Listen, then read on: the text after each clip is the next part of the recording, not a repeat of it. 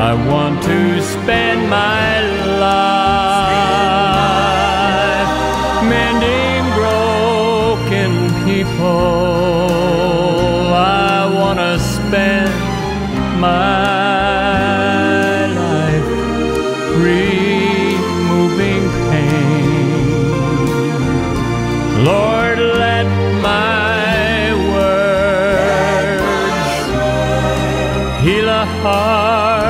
that hurts. I want to spend my life mending broken people. I want to spend my life mending broken people.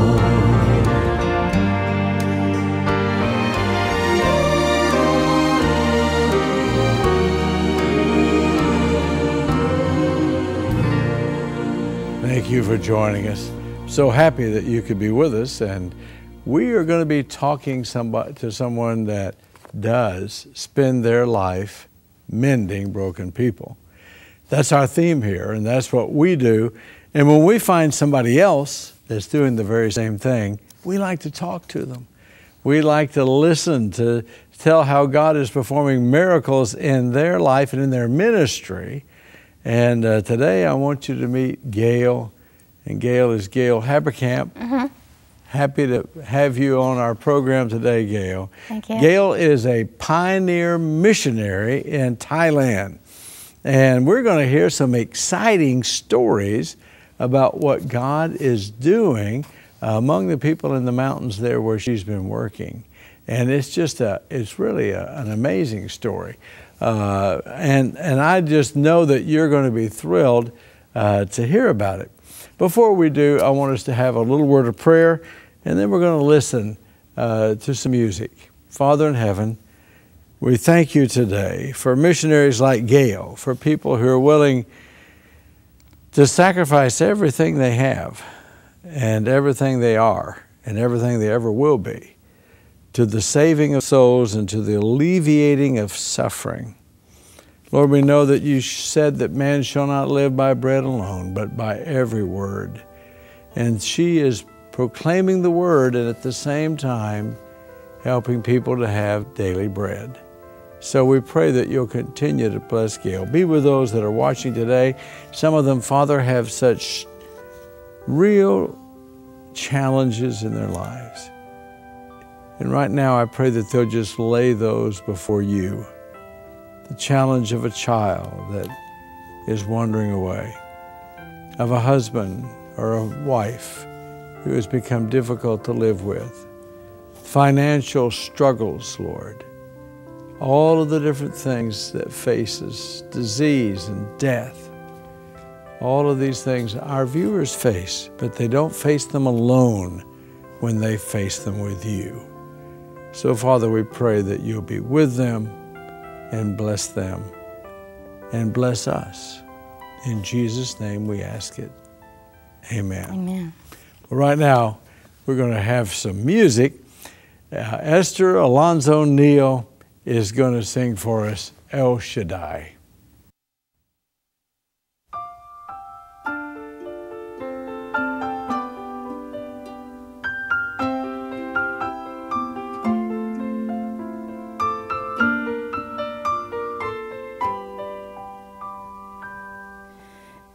Shaddai, El Shaddai, El Elyon Adonai.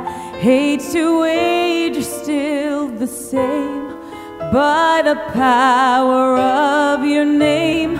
El Shaddai, El Shaddai, Erkamka na Adonai.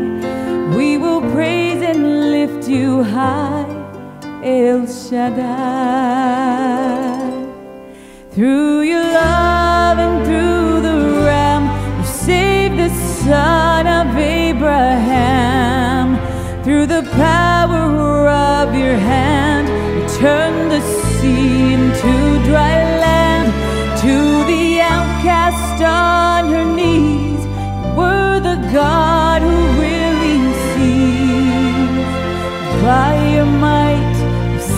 God's children free.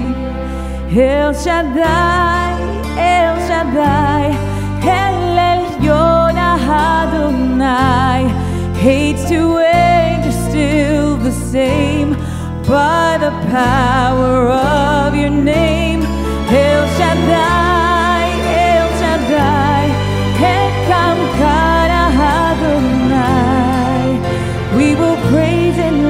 you high, El Shaddai.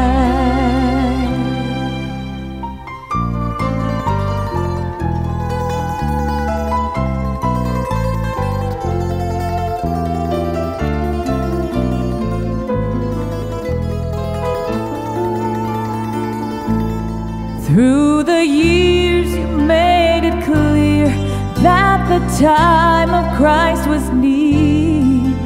Though the people couldn't see what Messiah ought to be, though your word contained the plan, they just could not understand.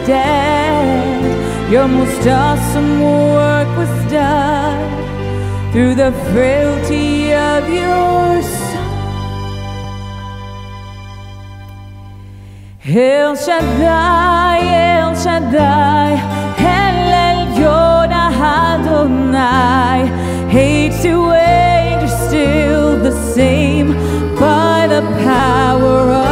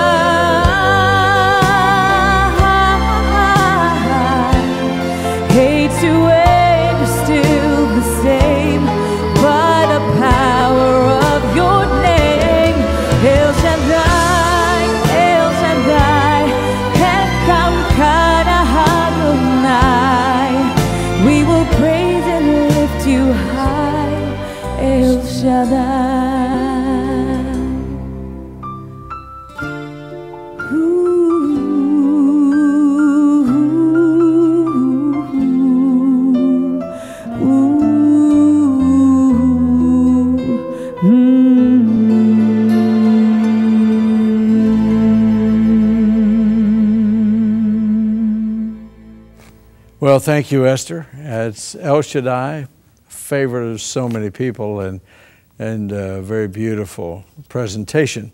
Well, listen, Gayle, I'm so happy to meet you today, and uh, our, our viewers always like a little background. Where were you born? I was born in Massachusetts, Really? Whereabouts in Massachusetts? Stoneham. Is that right? Well, I, I ministered in, in that uh, place for a long time, and my brother worked at the Sand there for many years, so in family. So my mom was a dean there, so we loved that part of the world. So you, life started for you there. You were born in a Seventh Day Adventist home, were you? I was. My Oh, dad was good. a minister. Right. Is that right? Mm-hmm. So you uh, have stayed close to, to the Lord through your life? Yes, mostly. There was a time in my younger years that I drifted away, but when I came back, I was uh, just so relieved that God took me back. That Right. My whole heart was in. it. All right. So then, how in uh, you were had an experience in your life where you began to pray for your family? Mm-hmm. What? Tell me us about that. Well, it was the year 2008, and I was living in the country of Montana with my husband and my two boys.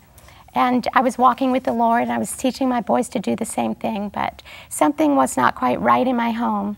And it, during that, uh, the month of December of 2008, the Holy Spirit impressed me to pray a bigger prayer. And somehow I couldn't pray it.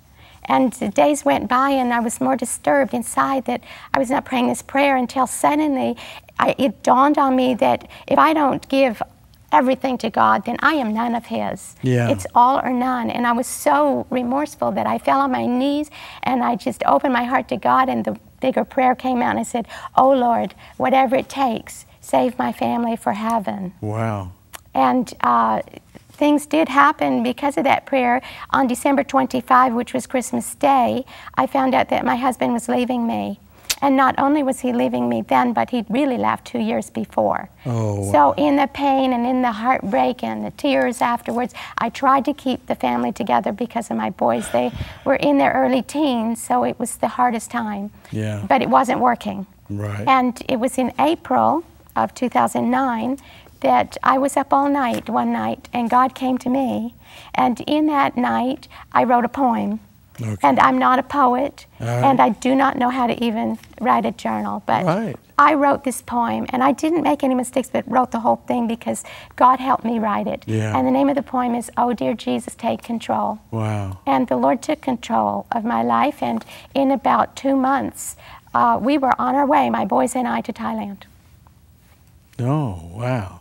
So uh, two months. Yes, it was just, it was the month of June Yeah. that we actually went. Okay. I had really, in the month of uh, May, May 20 actually, my friend called and asked me if I would go to Thailand and relieve some missionaries on the Thai Burma border Right. for three months. So you're a nurse, are you? I'm a nurse. Okay. And she thought, oh, you're perfect because you're a nurse. You already have your visa, you and your boys Right. to go. But it was a shock to me because, yes, I had my visa, but the year before we were just going to take a tour of Okay. Southeast Asia and it fell through. Right. And this time she's asking me to go and relieve people, and I wasn't thinking that I'm trying to keep my family together. So Right. I said, well, I'm going to pray about it. Yeah. So I prayed, and I, um, I have a loop I run. It's in the country, so it's a four mile loop. And two miles I prayed, and two miles I listened, and I heard nothing.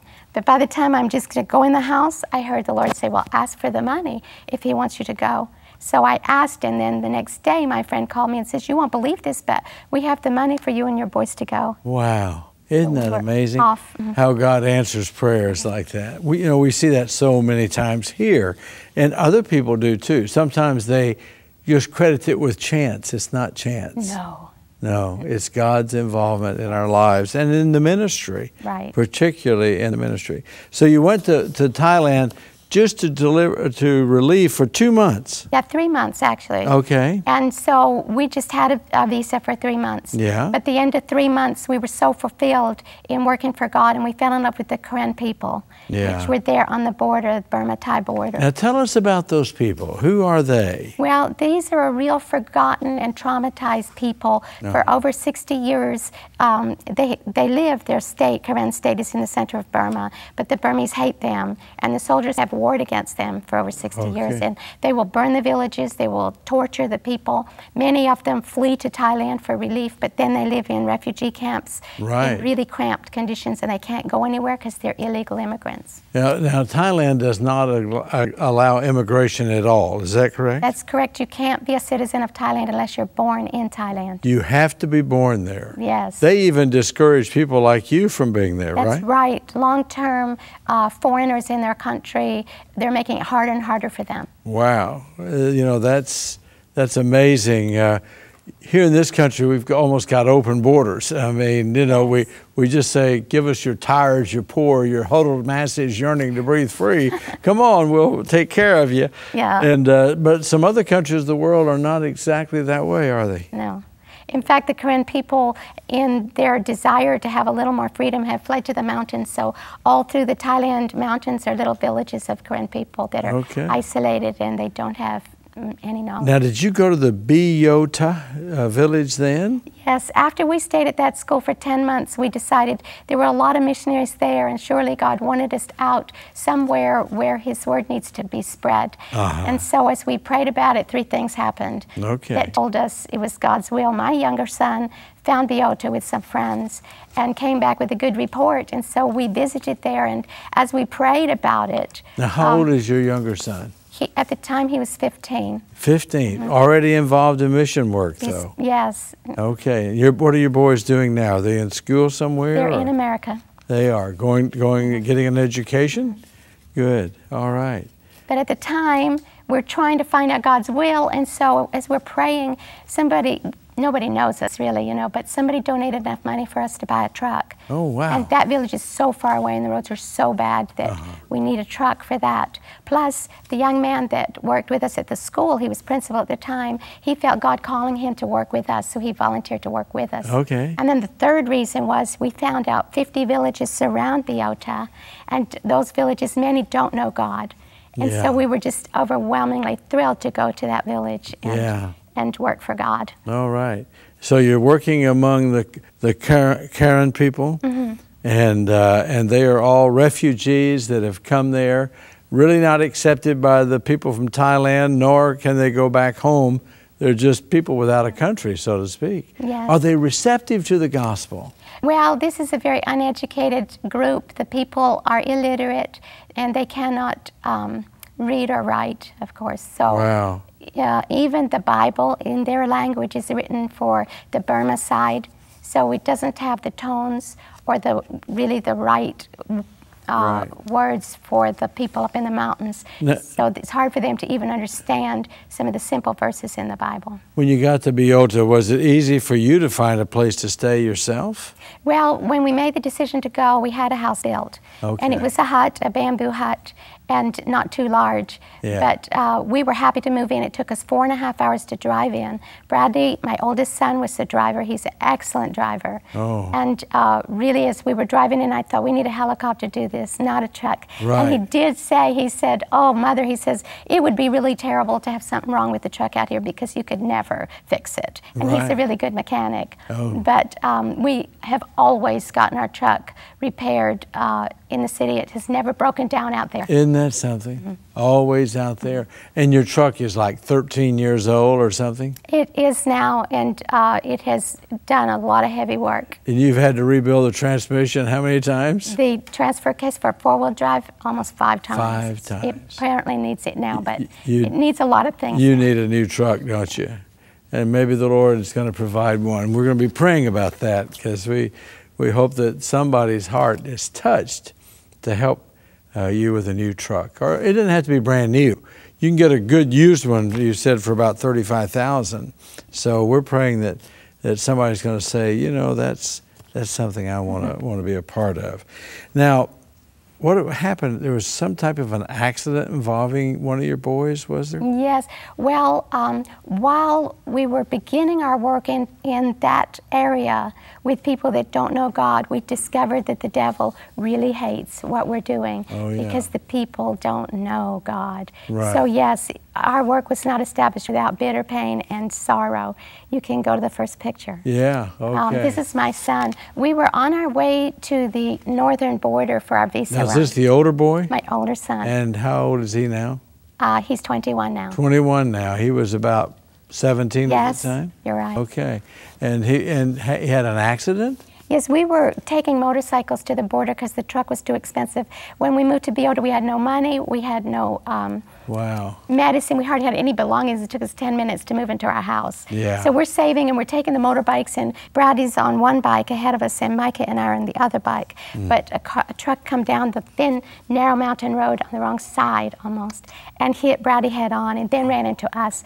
So we were all sprawled out on the street with nobody around. Oh. Wow. And the driver was angry because my son had dented the front bumper. Oh, yeah, right. And your boy has a broken leg. Well, when I saw him, I just knew he should die because it Yeah. was such a terrible accident. Oh, yes. But God encouraged me because the thought that came to my head is in all things give thanks, Oh, for this yeah. is the will of God for you. And he was telling me, turn off the motorcycle, turn it off. And so uh, I knew his mind was okay. And as I checked him head to toe, I found out that this is a problem and this. Right. And so I thought, well, maybe that's not life threatening. But it took us a long time to get to the nearest government hospital, Oh, which is right on the border of uh, How did Burma. you get there? Somebody take you by vehicle? Or? Well, this angry man took us in the back of his truck to the small hospital, which was an hour away or Yeah. more. Oh, and yeah. from there, they transferred my son to the bigger hospital, but it's right on the border, Uh-huh. a government hospital. yeah. And there I found that he was just sent through surgery like cattle with a number.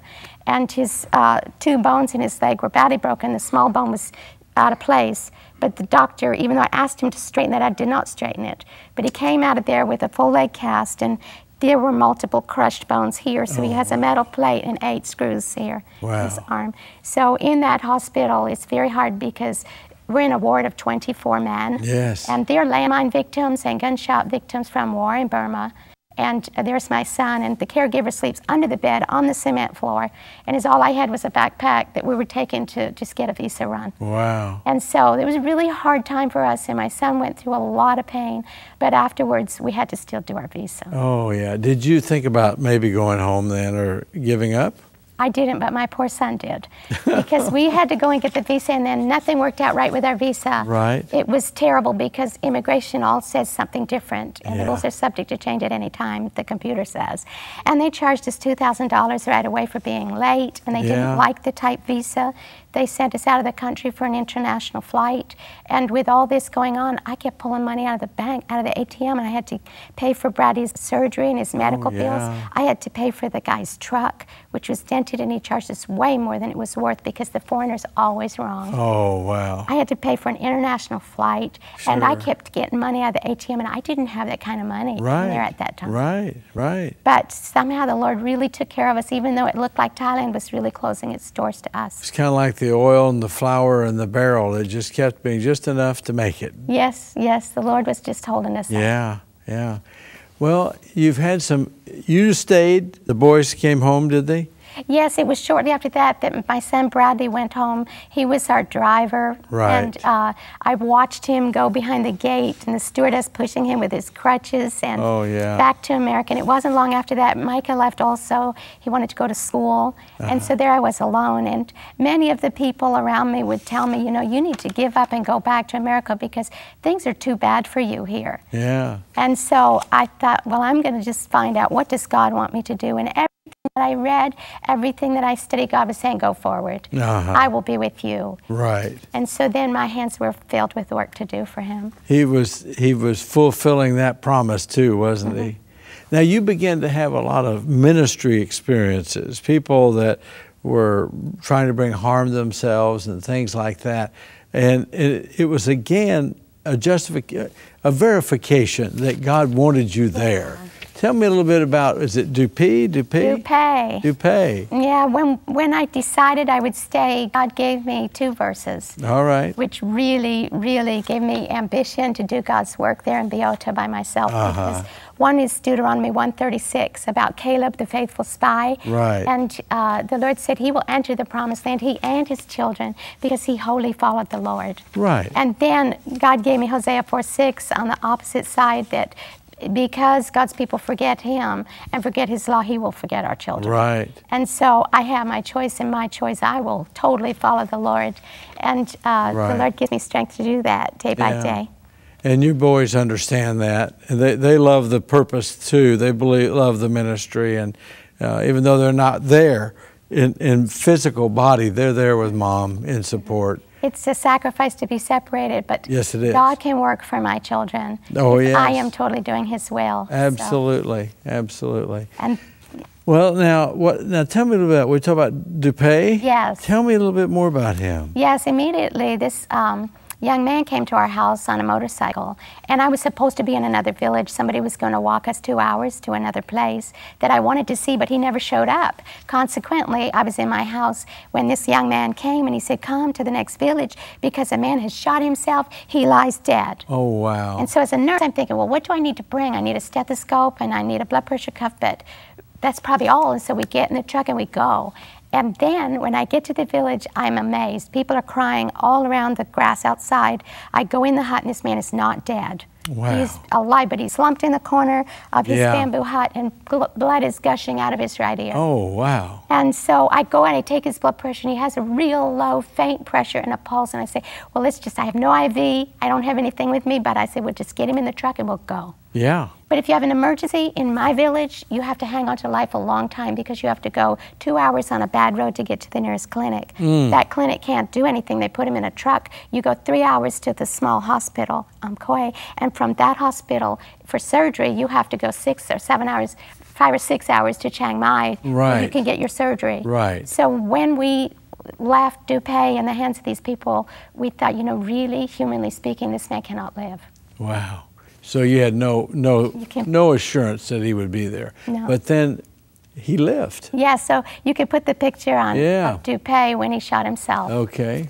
And we saw that picture there when he shot himself. Now Yes. now let's see him later. Yeah, the next one. He's All right. back. Now this is in three weeks. We prayed and prayed for this man, Uh-huh. and he came back and just full of smiles. A section of his skull had been removed. Nine bullets had been taken out of his head, and the doctor said he could return to work in Right. about a year. But he went back to work in his rice gardens in six months. Isn't that something? Yeah. And you know, when you meet the people's needs medically and you save their lives, Right. they want to know the God you worship. Yes, they do. So now we are in his house almost every week as much as we can Yeah. to teach them about God, and several other villagers come, and now there's several of them studying to be baptized. Now, these people, many of them have the opium habit. And uh, is this something you struggle with and in, in, trying to bring them off of that? I mean, it's bad enough in America to try to get them off cigarettes and things like that. But now you've got opium. Opium is really addictive, isn't it? It's terrible. You Yeah. can show the next picture because They're not all teenagers either, are they? No.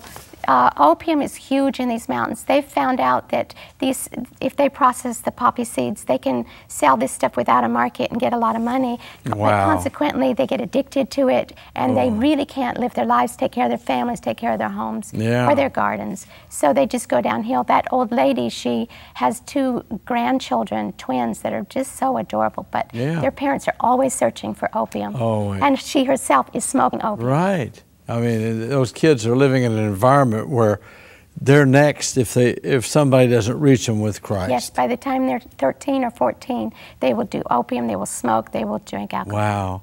And uh, I know that we have another picture here of a man with a syringe behind his ear. Opium again, huh? This is heroin when you inject Oh, heroin. it. He's got the syringe full of opium. It's a dirty, open syringe behind his ear. Oh, uh, this wow. one village is, is extremely far gone in opium, and it- Yeah. many can hardly think. So you're working in an area that really needs the Lord in every sense of the word. Yes, yes. Uh, spiritually, physically, emotionally, in every every way. Now, um, tell me about the viper pit. Yes, some of the dangers, you can show that snake. Uh, there are so many different kinds of poisonous snakes Yeah. in the jungles. And this one is camouflaged in the foliage. Also, it's in the bamboo. This one was right in the bamboo fencing as I'm walking to a village. So um, you have to really be careful of the snakes, but yet the They're really poisonous. yes, God has protected us from so many dangers out Oh, there. I am not afraid because He has done so much. Well, you know, you look at that green. It's okay if he's on the ground, but if he's in in the green Yeah. foliage, it's hard to see him. him. Yeah, and um, but I and then you've got other things like quicksand. You were telling me about quicksand. Tell me a little more about that. Yes, um, besides the um, snakes, the, the roads are always dangerous. We have three ways of transportation we have the truck and the motorcycle and walking. Yeah. Many villages we have to walk to, even if it's not rainy season. But in the rainy season, we only walk. Oh, and wow. uh, there's leeches and all kinds of insects that really are poisonous. But one, many times the land slides down from the mountains Yes. because it rains so much, the dirt is, the soil's very loose, way down deep, so everything slides. And to get to one village, we have to cross an area. This one particular year, this last rainy season, it was terrible. Wow. And the, the dirt became quicksand. Oh. One girl had lost her footing and her leg went in and she couldn't hardly get Uh, it back. Take it out. Huh? Never found her shoe. Oh, wow. So, and it's really a makeshift uh, way to cross it. You Yeah. Show the picture Okay. because uh, it's a flimsy log at the bottom that you balance on, and then Uh-huh. you hang onto the railing, but it's shaking and very loose also. Plus, we And carry that's across quicksand. quicksand. We carry the medicine on our back, so it's Oh, heavy yeah. as well, so hard to keep your footing. You fall off there, and that's it. huh? it would be really bad. So Yeah. it's a little make you a little nervous, but the rewards are so good. Right. Where the, we just walk to other villages three days a week. Yeah. And uh, no matter what the mud is, when you're walking up a mountain and the water's rushing down and you're trying to go up, and the leeches are all over your feet, but when you get to the villages where the people's hearts Yeah. are opening to God, it's worth all that. You It- would climb many more mountains. It- it's worth it all. isn't it? Yes. Mhm. Yeah. And uh, tell us some of the experiences you've had when you got to some of those villages. Yes, I will. Well, one is Chadri. And Chadri, you can show the picture. Okay. Uh, he is about 62 years old. He has rectal cancer. Oh, okay. And uh, he had been really impressed because we come all through the different seasons. We give out the medicines. We're happy. We have a little worship. And so he told us he wants to worship the God we worship. Yeah. And he called us to his house and uh, he asked us to cut all the devil strings off his family, which I've been lucky to do three times now. Wow. And so we cut them. They tie them around the ankles, the the wrists, the neck, and the waist. And we cut them all off, took the Buddha idols out and the relics for devil worship. Oh, and wow. uh, he said, Yesterday we worship the devil, today we worship God. Isn't that And if you go back to his picture, he uh, also, in his sickness, had an emergency. A young man came to my house and Yeah. said, that uh, this man has got terrible stomach pain. He hasn't had a bowel movement for two weeks. And so it was a really bad time for me because it's raining and I only have a student with me. My interpreter was gone. Yeah. But we went to his house and and I figured out he's got a blocked bowel. His stomach is rigid. He's having a lot of pain, but we can only walk out. We had to walk two hours up a mountain, and uh, with him that way. Then it took us three days and four hospitals to get to the right hospital that could do the surgery. Wow. Since then, he's had two surgeries. He refuses anymore, but I believe if it's God's will, he will heal him. Okay. And just recently, we had a little worship with him on heaven. He's so intent to learn about God. He listens so intently, trying to understand. And we talk about heaven. And after the worship, he said, But how can I get there if I don't know the way? oh, wow. And we simply told him, Don't worry, because Jesus himself will He come and is get the you. way, the Yeah. truth, and the life. That's Yes. right. Well, that that is a fact. There are great rewards when you Oh, get there. too aren't there? good, yes. They really are. So you, run into a lot of children too that you're able to help. Tell me about some of those children. Yes, we are. This one little boy, uh, that you can turn to the picture. Okay. His name is So Rachai. Uh-huh. So Rachai has been covered with a fungus and co- secondary infections all his life. He's five years old here. And his sister has also died of this problem. Oh, yeah. So I was determined in my heart not to let him die because Right. He is like all the children, they're precious Oh, sure. and I really love this boy. Well, I would ask his mother if he could stay with me, but she said, well, if he wants to, he could stay. But he never wanted to because he likes to play with the pigs and the Yeah. cows under the house. Oh, and boy. so he would always go back home and then he'd come back worse. And so I really prayed and I said, Oh Lord, please help this little boy to love me so I can get him well. And the next time he came to visit us, he loved me. And he stayed with me. So I had him almost a month, and I taught him to take a bath, and I taught him to scrub with lots of soap, and we put Yeah. the medicine on twice a day. And he he got better. I fed him three meals a day, Uh-huh. best food as I had. And uh, he would also pray with me at night. I would pray. Right. Even when he was in it, praying and sleeping in a different place, he would ask me, kneel down. He would ask me to pray with him. Yeah. And then he, uh, the next picture shows how much better he is. He's Oh, well, yes. going Wow. with me to church with his Wow. Bible. Look at that. Yeah. You can just tell the difference in this child from uh, some love and some tender care Mm-hmm. and uh, spiritual food as well as physical food Yes, yes. to help him along the way. You know, you were able to build a clinic, uh, a new clinic. Tell us how that happened, and there's some miracles involved with that. I- Tell us about that. it's a huge miracle because, like I said, I had not a really hardly any money when I started. Right. And but by the time I'd been there three and a half years, I was treating patients in the center of my home, and of course it's very filthy. The babies don't have diapers, and the older people spit, and so it's really hard. And even Yes. though I have never been, had not been sick up to a point, Right. over there, uh, surrounded by it, we knew we needed a separate little place somewhere, somehow, an extra Right. building so we could treat the sick. And I think really small, but God thinks big. Yeah. And I was going to do a small building, but ch- plans changed. And as we prayed about it, we were have four different locations, but it's hard to find a place because it's in the mountains and you're on the side. And I need a concrete building Yeah. because wood is illegal. Plus, I wanted a tile floor to keep it clean. right. And so finally, the day before, a builder came the one we'd chosen to come, we changed the blueprints and we wrote it out by hand. And we didn't have a place to put it that was level. There's so many miracles involved in that. A bulldozer came at the last day and Wow. leveled a place, actually leveled the road coming in, or we never could have brought the material in. Yeah. And uh, then we put a house and a clinic together on one side of the mountain there, which just fit on that side. And our little truck just carried in all the material, all the cement bags, all the cement blocks, all the tile for the roof, all the tile for the everything. Oh, wow. And uh, The Lord provided the money, didn't He? Mm-hmm. You know, He does that. Uh, we, we just live here knowing and by faith that He is the one that supplies. And He uses our people, of course, and those who love the Lord and love this ministry and want to see it go forward. And, uh, and that's why we share these stories because we know there are so many ministries. And uh, one of the things that really encouraged me to become a part of 3ABN was that Danny Shelton was not trying to bring all the money in here, and uh, that they were. We were talking, and he, I would watch, and he would have projects on and raise funds for other ministries, and the, God has blessed this ministry as a result. I have no question about that, and hundreds, literally, of ministries like yours have been helped through the programs that they've done here. And so many ministries have been started right here on this set mm. by people coming with a dream or an idea. They've already got the basics going and enough to where uh, we can see that they're not just pipe dreams, they mean Yeah. business.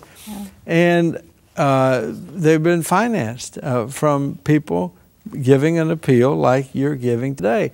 And I want you to be praying about helping with this project because I believe this is something that God really wants to use. I think that, uh, that Gayle is truly a pioneer missionary in that part of the world and that we need to stand with her uh, and uh, to support her. Now, you've had uh, a grandmother that came to you and, and a grandson. Tell me about that one. Yes, um, one night, uh, this happened just recently, just before I came for furlough to America. And one night, a young man came to me, and you can show the picture because Okay. the man in red. His name is Satu. And uh, he lives in the next village, but he came and he had a problem. He wanted me to go and visit his grandmother. He said she was very sick. So I think, oh, I can't go tonight. It's dark, it's raining, it's very hard to get to all the villages in the rain, let alone in the dark. So can we go tomorrow? And yes, he, we can go tomorrow. But I said, what is the matter with her? And he said, she uh, has swallowed a piece of meat and it didn't go down. And so I asked him, okay, well, how long has it been there? He said, three days. Now I'm really scared because if you have a lump of something in your throat that doesn't go down within 24 hours, it's an emergency. Wow. And you need to go to the nearest medical facility right, Right, away. But we can't go anywhere, it's raining. And uh, so I told the young man we'd go in the morning. And then when he left, I prayed because, you know, I didn't want to be there. I didn't want to know about this. I didn't want any part in it because I know what happens. They go to the hospital, and even the gastroenterologists have to use special instruments and suction to get this out or push it down. And so many complications. If the esophagus tears, they bleed to death. If they push it down and it doesn't go to the left, it blocks the trachea, and then you can't breathe. Yes. So that's worse than the esophagus. So I'm praying, and I think, you know, the little um, government school next door sometimes has internet, but my computer doesn't always connect with it. It's old, and so I think I need to just email my sister. I'll ask her to pray. So I went, and I'm praying, and I, I got the message to her. And then when I went home, I'm thinking now, okay, what do I need to bring with me to help this lady? Because I really feel sorry for her but I'm scared. And so I'm praying and I think, okay, I can give her a shot for nausea because that can relax the GI tract. Then I think I can let her try to swallow some olive oil and that might lubricate it some. And I had a retractor for the tongue, which I never would use. I don't, somebody donated it, but I had it and a long forceps. And I think, you know, I can just do my best. And so I'm praying and packing my stuff and medicine to treat the rest of the village because that takes time. And so then in the morning we go. Now, 45 minutes up the mountain, there is a place you can make a cell phone call. Otherwise, you don't have any cell service or anything else. And so I stopped there to call my um, my worker, my coworker, because he wasn't with me at the time, and he's my translator. And I wanted him to make sure that Satu knew that this was really a bad, life-threatening situation, and she Yeah. probably wouldn't make it Right. because she's 90 years old or more. Wow. And so he told the young man about the three dangers of the torn esophagus, of the trachea, and of the that the esophagus tightens up also. And chances are I can't get it out. So he wants to tell him that. And the man said, Well, yes, we know she'll probably die, but we just want to see what Gayle can do. And so we keep walking and we go to the village and we get in this little hut and people just crowd in all around. And I tell They them, They want to watch. Don't Oh, they're, they're, and you know, they really respect and love the older people. Right. She's a dearly loved grandma. Right. And so I tell the people, you know, God loves this lady. Yeah. And if He wants to, He can. He can help her, but I cannot do it. So I want to pray to the God in heaven. So I prayed. I can't pray in Karen really, but I can tell him what I said when I'm finished. Exactly. So I told them, and then I gave the shot. Then I waited for 15 or 20 minutes, and then um, she was relaxed, and I positioned her, and I got my retractor. And uh, she had tried to swallow the olive oil but couldn't swallow a thing. She's hungry, she's Oh, thirsty, her neck hurts, her ear hurts, her head hurts. Yeah. And uh, so I really want to help her, and I get this retractor, and I've got my headlamp on my Right. head, I've got my glasses on my eyes, Yeah. and I go in and I pull back the tongue, and I've got my forceps, and I'm, I'm looking, and I don't see anything, and she chokes. And so I back up and I go, okay, Lord, I'm going to try one more time. So I get my light and my glasses and I go a little further and I, I pull and I've got to be able to see something. Lord, help me. And I got my, my uh, forceps and I'm looking and she chokes again. Oh, wow. It's okay. Okay, I'm going to try again. Yeah. So the third time, Third time. I take my retractors, I go way down into the throat, and I pull the tongue back, and I've got to see something. This time I've got my forceps, and she really chokes, and when she chokes, that whole hunk of meat came, It right came out. and it was pork, no less. Oh my goodness. And Oh. the people were happy. The cloud lifted, and all the people were smiling Oh, and happy. yes. And they were thanking me, and I said, "It's not me. This is God. We pray Yeah, to God." yeah. And that's the village that I want to put the next clinic in because Okay. my vision is to have five clinics in my lifetime. Right. To cover. And you have one now, and you're going for number two. I want to build there because they want a school. yeah. They want a, me. They Yeah. want a church. Right. Already, because at Chaudhry, there's five families that want to keep the Sabbath. Now, I want to ask you some questions about your needs because uh, we don't have a lot of time left. Uh, how much does it cost to keep things just going? Just paying the rent, the basics, keeping you alive a month. What does it take? Well, um, Truck really, repairs, gas, food, all that. I buy so much medicine Yeah. that if I rounded off to three thousand a month Okay. because I'm the only one there. I think God's trying to put a team together for me, Right. so we can split out. And So there may be people that want to send fifty dollars a month or something, and that could you got to keep things going. what helps Right. me the most is the monthly operating expenses. Yeah, we know that from here. You know, we we got some real projects coming that we're talking about a, a new production truck and and a lot of different things cost millions of dollars, but. That has to be over and above giving because if we don't keep the lights on, what good will the production truck do us? If we don't keep on the satellites, then we have no program to do. And, and, and if we can't pay the people that do the camera work and all that, we have no program. So the basic things, the day-to-day operation, people keep us going with ten dollars a month and twenty-five and fifty dollars and hundred dollars and some more, uh, some much more sometimes. But we don't have any really big, gigantic givers. Uh, it all comes from the small gift.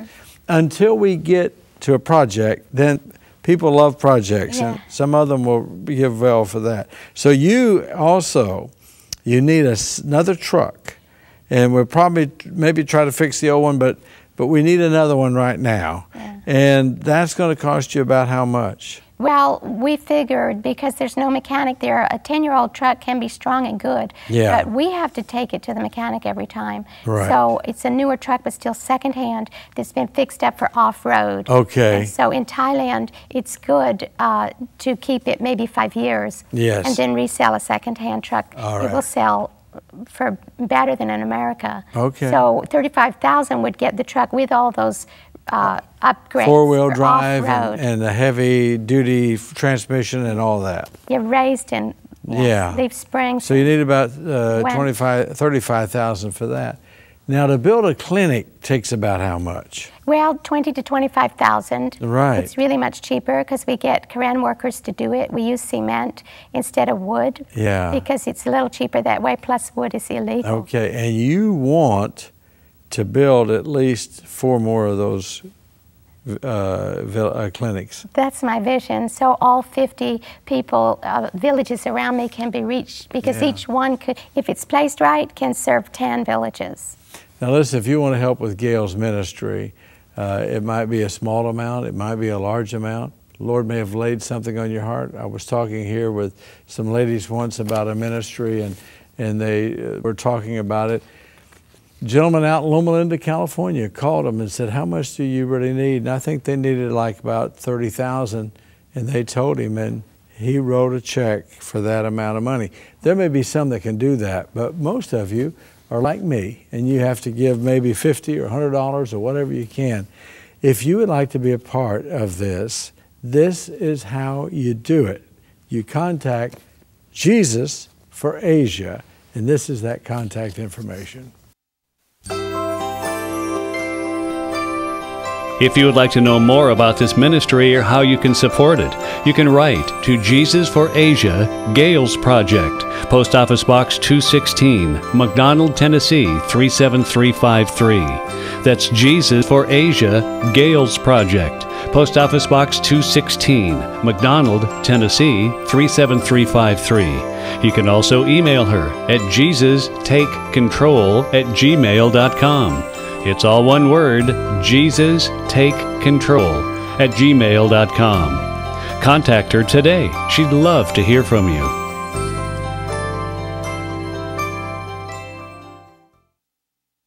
Be sure to mark that for Gayle's project because there are a lot of different projects taking place there uh, at uh, Jesus for Asia.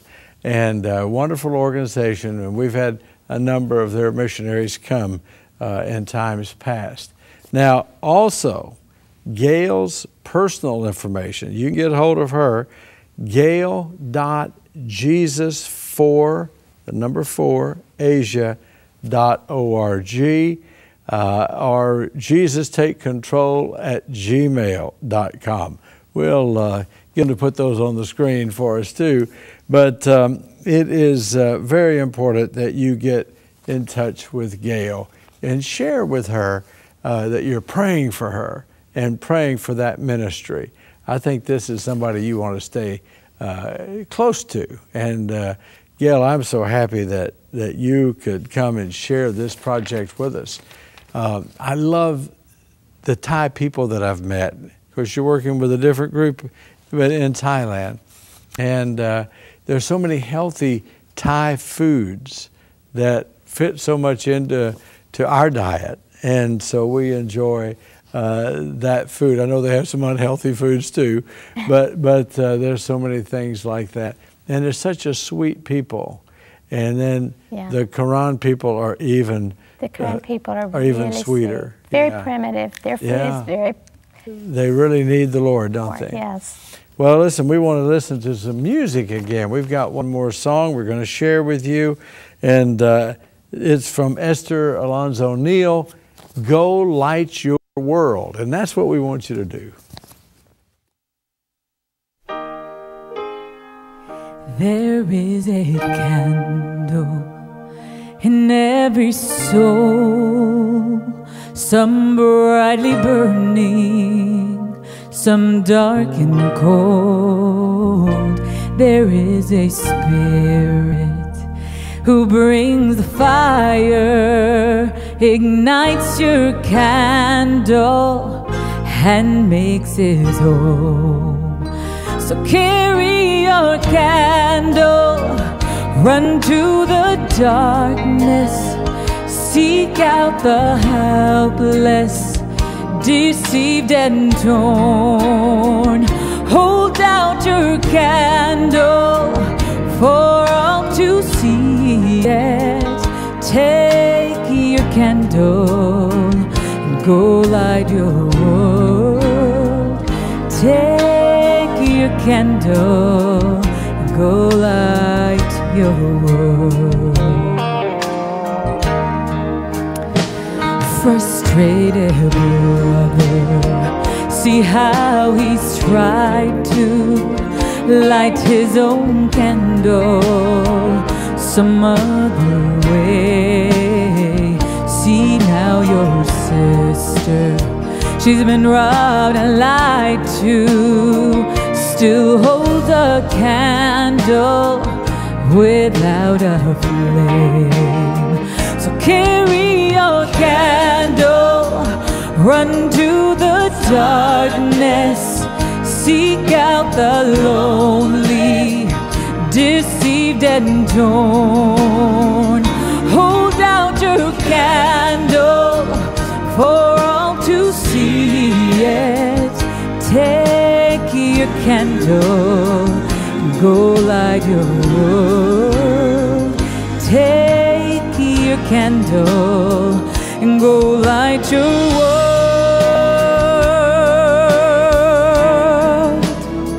Cause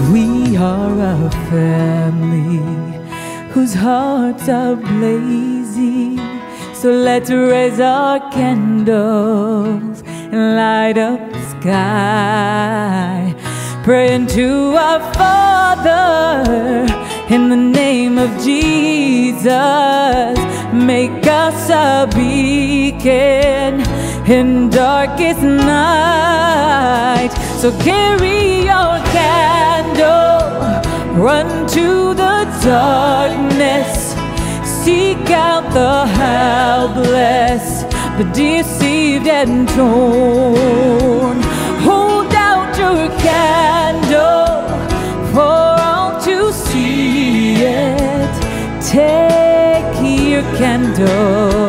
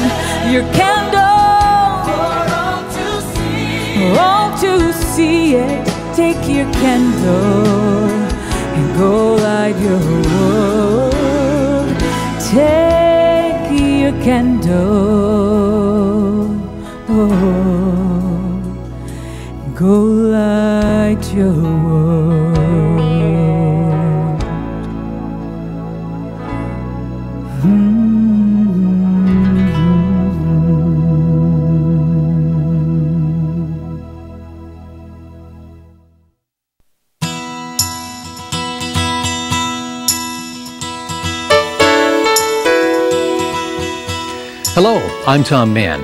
Have you ever wondered what it takes to keep 3ABN's message fresh and up to date? We're working constantly on new programs for an ever growing audience around the world. But how is that accomplished? After working many years in television and radio, I've realized how unusual it is for 3ABN to produce such a large percentage of original quality programming. Most Christian networks use a large number of programs produced by other ministries, and unfortunately, they have little or no control over the content. But we've been called to give a consistent message, and we do not allow the focus to become entertainment or performance oriented. The clear vision given to Danny Shelton, our founder, was to build a television station that would reach the world with the undiluted Three Angels messages, one that would counteract the counterfeits. And that's what we strive for. We just don't provide family friendly programming. If it's not squarely based on the Bible, our pledge to you is that it will not appear on any of our networks. When it comes to original programming, we produce 69% of our 3ABN English television content, 67% of our 3ABN Latino content, and 100% of what our Russian language channel airs. Without the Lord and all of you, that would be impossible. But we're continuously blessed with the finest teachers, preachers, health presenters, and guests day after day and year after year. So many people work together to make a television program. Producers, directors, camera operators, studio managers, lighting and audiovisual directors, and video engineers, just to mention a few.